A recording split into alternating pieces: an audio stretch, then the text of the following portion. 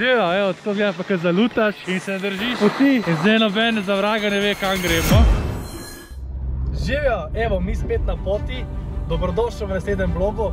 Tokrat pa šibamo na ski opening Drajzine. Zdaj so že pelami iz Kronplaca, vmes še poberem Davorja, tako da bom imel družbo, da mi bo pomagal mečken snemati, pa da bo kakšne vragulije počela. Čaka nas neravno dobro program, od te smuči do glasbe v živo, prav za naše ski fanovce. Tako da jaz mislim, da danes ski opening bo best of the best. Skočimo po Davorja, pa se slišva. Ajde!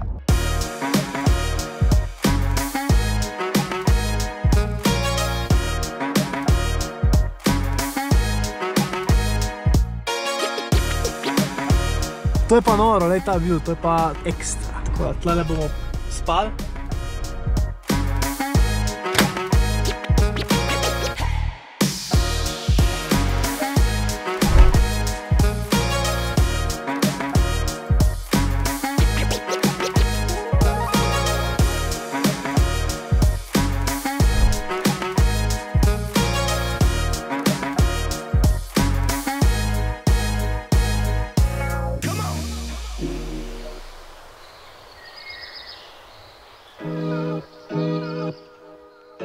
Dobro jutro, danes je lep dan,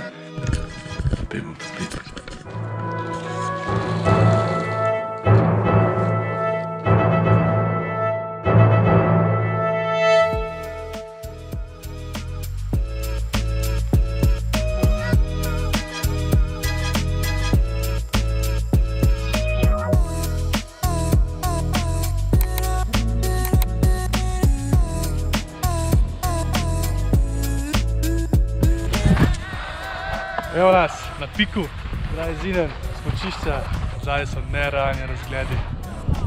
Lep dan, tako da ko me čaka, da vidim, kakšna bo smuka danes. Se vidimo dol.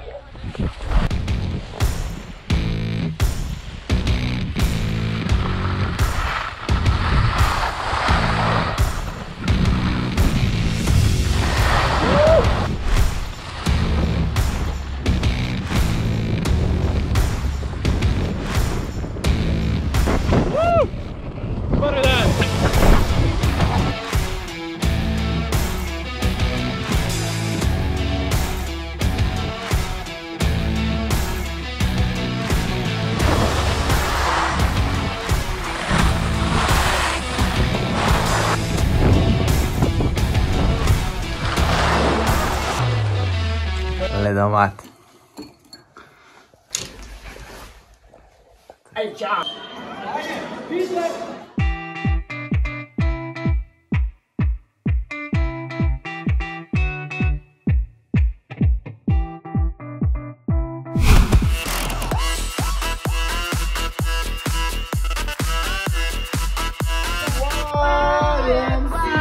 Še, še, še! To, to, tega poringa, poringa!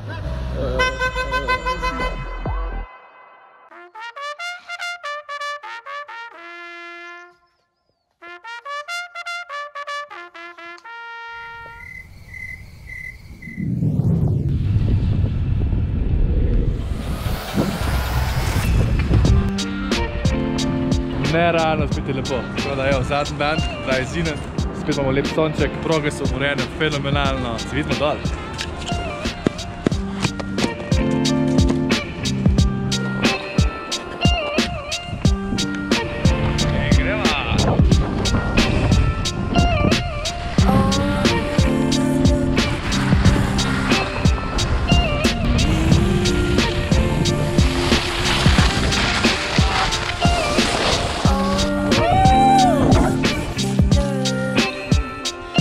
Živijo, evo, tako gleda pa, kad zalutaš in ne ubogaš in se držiš poti in zdaj noben za vraga ne ve, kam gremo. Jaz upam, da pridemo na kakvo smučišče, nazaj, fakt, nekaj cesta. O ja, medtem ko si lepo pridno smuči na smučišču, se mi vozimo neznano kam. Moj mali nasvet, dajte se držati proge. Se vem, da off-road je bolj privlačen, bolj adrenalinski, ampak se zna zaplest. Tako da dajte se držati urejenega dela smučišča in vse bo super. Na srečo se je naše lutanje srečno končalo in smo po dobrih 20 minutah končno prišli ven iz gozda in se prepeljali direktno pred lokal Max Alam, kjer pa smo imeli preko Ski Fana organiziran res mega ekspres ski in tudi zvečer ski party, kjer pa so pustile vse zavore. Noro!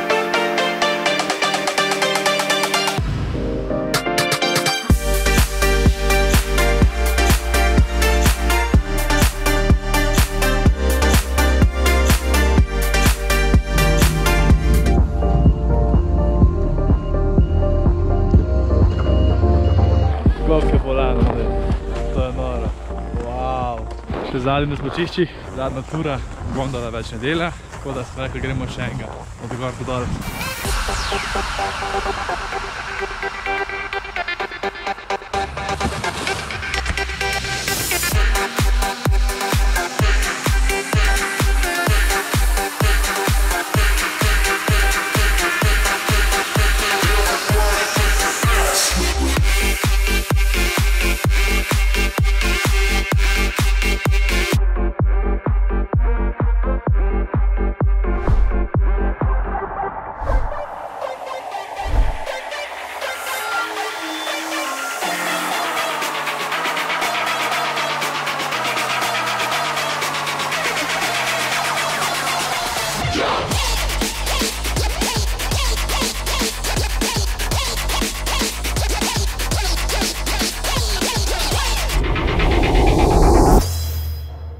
druščina, ne pozabi ski opening, dry zinen je za nami, bilo je fantastično in nepozabno. Proge in celotna infrastruktura smučišča so odlična. Vse poteka hitro, preprosto, ob smučanju lahko uživate ob pogledih na čudovite pike slavnih dolomitev in enega najbolj opevnih, dry zinen, ki je dobesedno obnorel svet. To je ski opening, ki bo zadovoljil vse.